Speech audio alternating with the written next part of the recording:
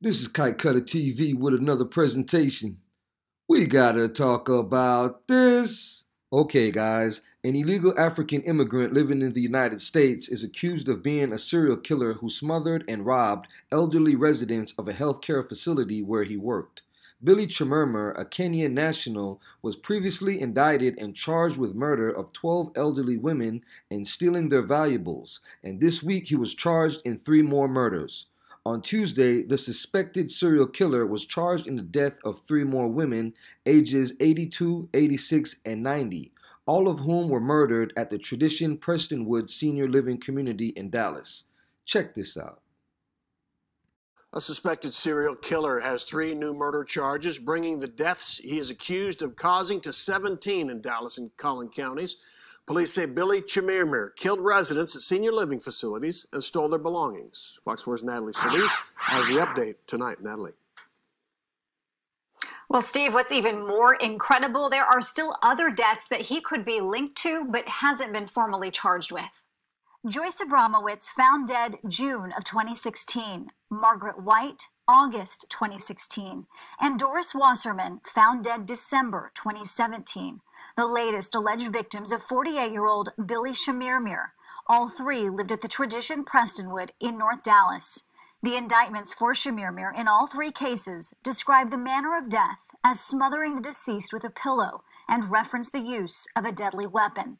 The murders committed allegedly while burglarizing the victims. Chemirmir is accused of posing as a maintenance worker or caregiver to gain access to several facilities in Dallas and Collin counties.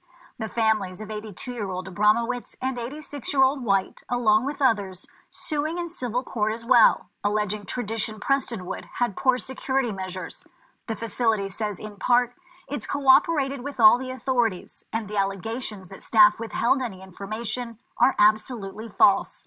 The string of deaths sparking changes to state law. At least one uh, family that uh, found out on social media that their mom may have been murdered by the serial killer. State Representative Jared Patterson of Frisco filed a bill that would require families to be notified if the medical examiner changes a death certificate, as was the case with at least one of Chemirmir's alleged victims when the ME revisited the case. It's my next door neighbor, actually. Um, she was telling me about uh, her mother who had passed away. Chemirmir has not been indicted in that particular case, but Patterson says the hope is other families will also get closure. We need justice in every single case uh, that this person has been involved with.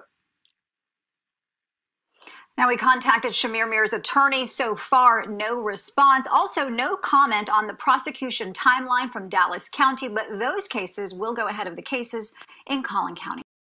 We're not going to leave any stone left unturned.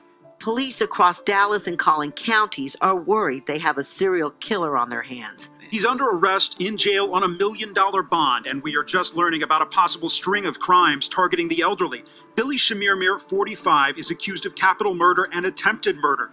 So I got a call from a source saying, You're not going to believe this, but we have a, a serial killer, and he's been killing elderly people.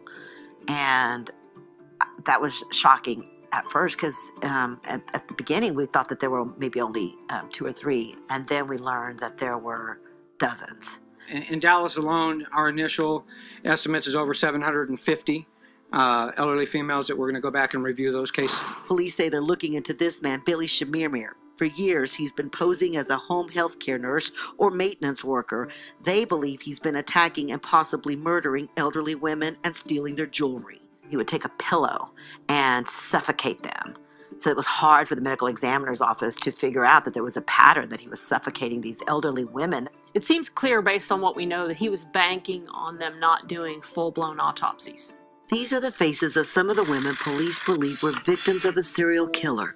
Norma French was 85 years old. Doris Gleason was 92. Phyllis Payne was 91 years old. Phoebe Perry, 94. I mean, it's pretty horrific that a man would go and kill elderly women, vulnerable women that they couldn't even defend themselves and he he suffocated them and he stole their jewelry. I mean that to me is incredible. And so many of the families weren't sure because it looked like they had died of natural causes. So from some of these families they didn't know for years. These are the faces of eight victims that lawyers say died at the hands of a serial killer in a swanky high price assisted living facility. The horrific thought of what their loved ones went through the last moments of their lives when a stranger who is roaming around what's purportedly a safe and secure facility. A lot of times, our reporting, we, we find the loopholes in the system. And what we saw in the Chemirmir case is a gaping loophole in the system where um, he is uh, uh, allegedly able to kill all these people uh, and it go unnoticed for years. We really don't even know how many victims there have been. I think, you know, the true death toll uh, very much remains to be seen. I mean, it wasn't like they were they were ill. These women were um, still thriving when they were killed, but they just looked like they died of natural causes. So there was not a lot of suspicion.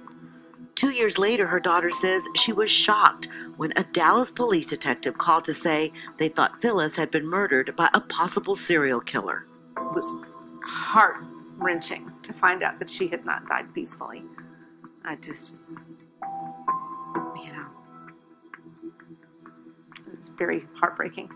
And that's why this story is so significant is the magnitude of the pain and sorrow he caused so many victims and their families. My mom, uh, my mom was one of my very, very best friends. We talked every day, and I miss her a lot. He's going to be among one of the worst serial killers in our nation's history. Thanks for watching. Like, share, and subscribe. Till next time, God bless.